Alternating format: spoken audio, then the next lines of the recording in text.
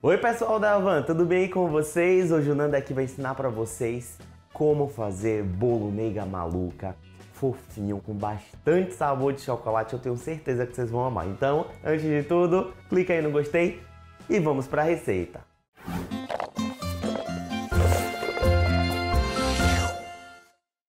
E para fazer esse bolo nega maluca, a primeira coisa que vamos fazer é colocar em uma tigela três ovos,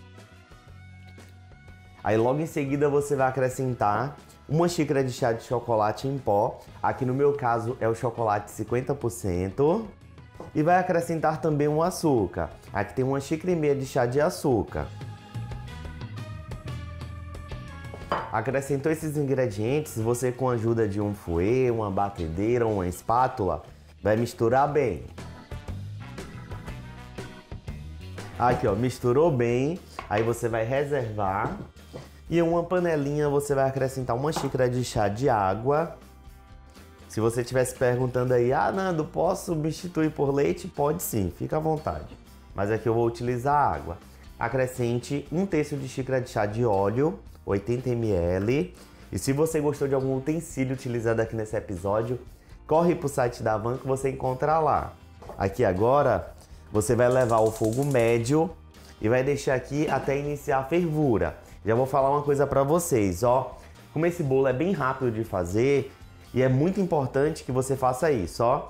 Antes de começar a preparar o bolo, você já prepara a forma. Aqui no meu caso, a forma tem 28 por 17 com 5 centímetros de altura e eu passei manteiga e polvilhei chocolate em pó. Feito isso, aí você começa a fazer o bolo, tá bom? Vou até reservar aqui no cantinho. Aqui, ó, já iniciou fervura. Você desliga o fogo, ó, fica mexendo aqui e vai acrescentando aos poucos. Ó. E sempre mexendo, tá? Não para de mexer não. Aqui, ó, acrescentou. Aí logo em seguida, coloca uma pitadinha de sal para realçar o sabor desse bolo. Não se preocupe que seu bolo não vai ficar salgado. Mexe mais um pouco e aqui você pode acrescentar a farinha de trigo. Eu gosto de acrescentar a farinha de trigo também aos poucos, tá? Aqui a minha farinha de trigo já passei na peneira. Vai acrescentando e misturando. Enquanto eu acrescento aqui a farinha de trigo, eu já vou te convidar a se inscrever aqui no canal, ativar o sininho de notificações para você não perder os próximos vídeos. Aqui ó, misturou, ficou sem nenhum gruminho de farinha de trigo. Você acrescenta uma colher de sopa de fermento e assim que você colocar o fermento, você já mistura e logo em seguida já coloca na forma, tá? Aqui, ó, mistura bem, pegando sempre lá do fundinho, ó, pro fermento ir para toda a massa.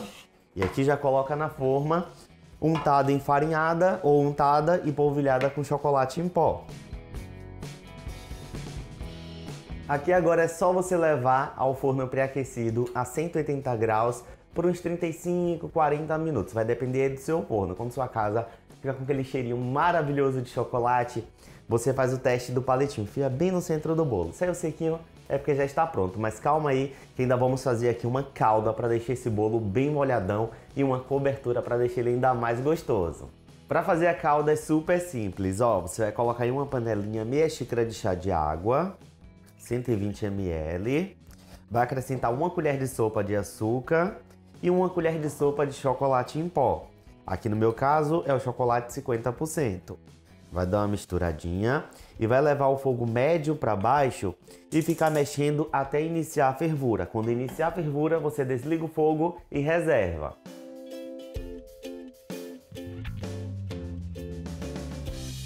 Agora que o nosso bolo já ficou pronto, vamos fazer a cobertura. E você vai colocar em uma panela uma caixinha de leite condensado, aquelas caixinhas de 395 gramas.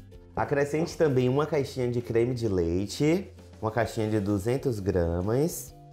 O creme de leite aqui vai dar uma suavizada nessa cobertura e não vai ficar enjoativo. Aqui eu vou colocar também uma colher de sopa rasa de manteiga ou margarina e 3 colheres de sopa de chocolate em pó. Aqui no meu caso é o chocolate 50%. Agora você vai dar uma leve mexida e vai levar o fogo médio para baixo até dar o ponto de brigadeiro de colher, é o ponto que eu vou mostrar para vocês. Aqui, eu vou mostrar pra vocês qual é o ponto.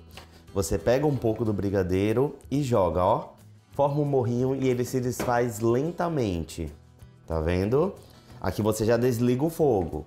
Aqui você vai pegar o bolo com o um garfinho, ó. Vai espetar.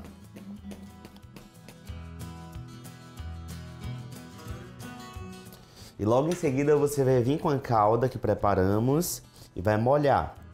Assim, depois que você levar esse bolo para geladeira, gente, ele vai ficar surreal.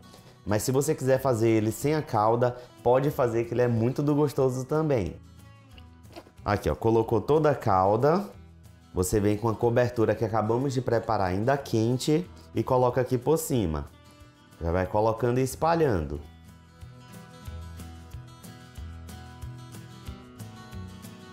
Aí aqui por cima você vem com granulado, a gosto e opcional.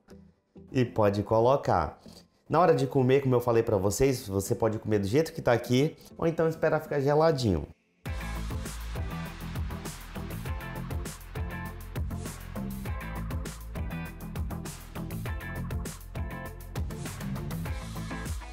Gente, que bolo fofinho, gostoso. Comenta aí embaixo o que, é que você achou dessa receita.